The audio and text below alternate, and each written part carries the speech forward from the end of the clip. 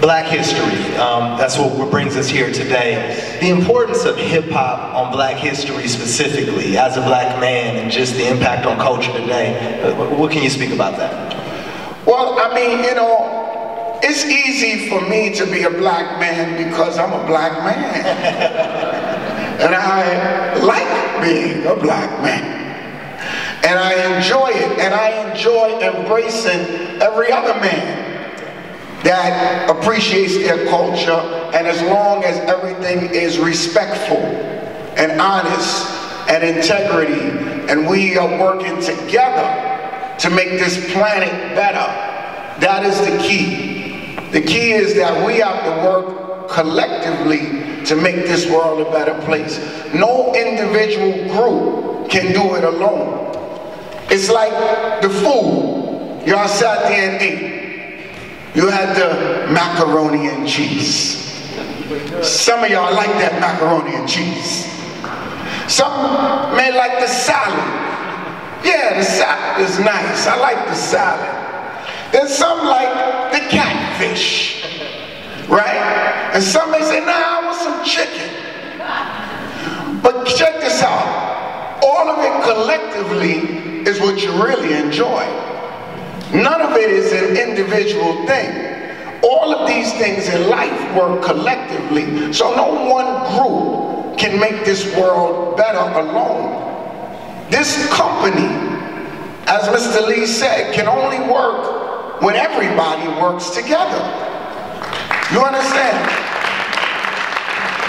It's just the truth. How can anybody do everything alone? No thing in life works alone. It's a collective effort of everything. But the key is to have love and respect for each individual thing. When you lose the love and respect for that individual thing, it changes the vibration. And when it changes the vibration, you have the tension. You don't have that unity you don't have that love. You don't have that passion. You have negative energy that's, that's counteractive to the, to the success of the whole thing. See, so when I make music, I make music for the world. I don't make music for one individual. I make music for the world because I want everybody to know that we collectively have to have fun, celebrate, enjoy life. You have a family, I have a family. You know, you have children, I have children. We all want the same things out of life. We just want a good life. And we want to make this world a better place. And the only way to do that is we have to work together. But we have to do it with love and respect. Just a couple more questions before I let you go. Hip hop. Am I, am I getting too deep? Oh, Did no, I get no, no. too deep? This is perfect. It leads into I mean, I know it's the afternoon. Y'all didn't come. I mean, I don't know how deep to go here. You know what I mean? Because I know y'all don't want to party, so you know, I don't know what to do right now. You know what I mean? You gotta talk to me. Sorry. But see, I think the importance of today's discussion is the history and the culture of music, and really you're you're defining what I think many times is the bad rap. You know, no pun intended, that rap gets, which is negativity and some of the the negative. Um, you know, I tell people it's like movies. If you just had all negative movies, you wouldn't have a display of all the talent. But hip hop has many different layers, many different types of songs and, and styles, and I think you represent that. Before we go. Well, well, let me say that to you. See, there's movies that come out that I don't like. Anybody seen a movie that they don't like? Anybody in here? You seen a movie, you was sitting there, you paid your money, and you going, this movie is garbage. Have you ever been there? Have you ever had any food that you didn't like? Anybody, anybody. Some of y'all may be like, well, I don't know if I like what's here today. Hawkins, no, we love your food, Hawkins. We love right, right, right, right, right. Well, you know, I mean, but people, people got feelings, right? So Preference. the point, right? The point is, is that there's nothing that you're gonna like everything about.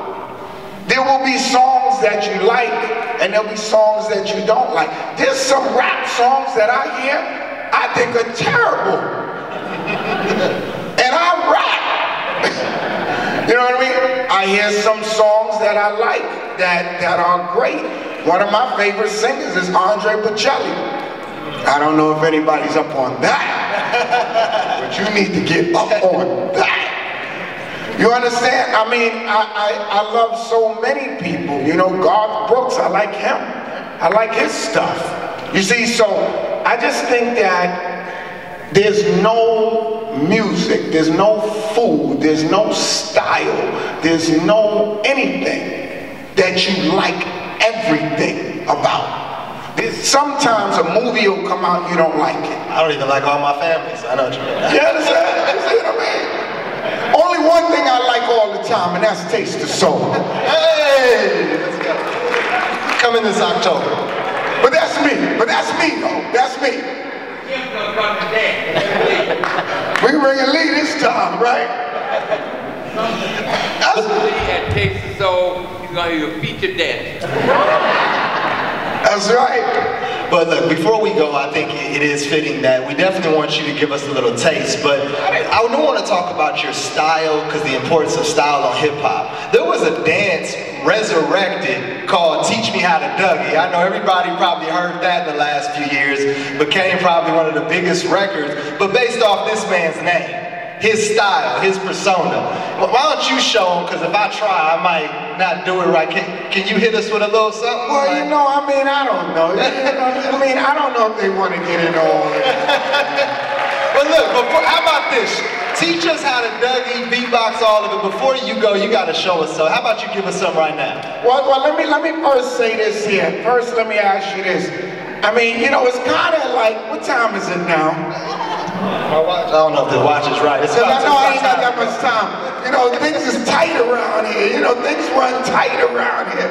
So, I don't know. Y'all want to get into something real quick to, to Let's get do it.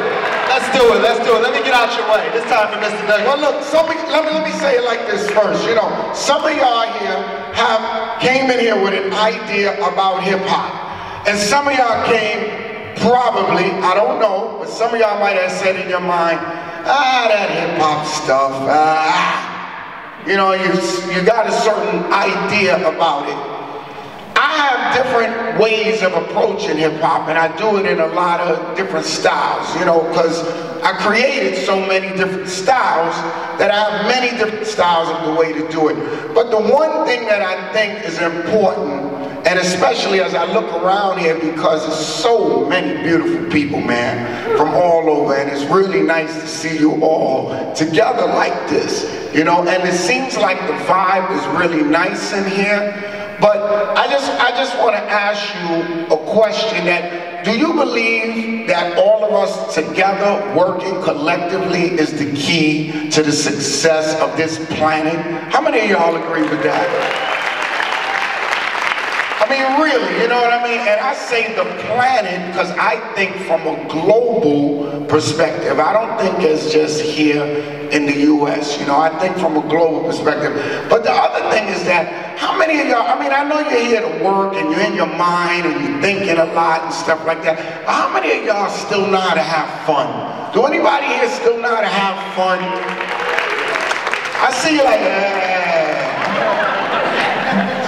Yeah. I get it. See, so it's hard for an entertainer, and entertainers won't tell you this, it's hard for an entertainer to take you out of your mind to put you into the space of fun, especially when you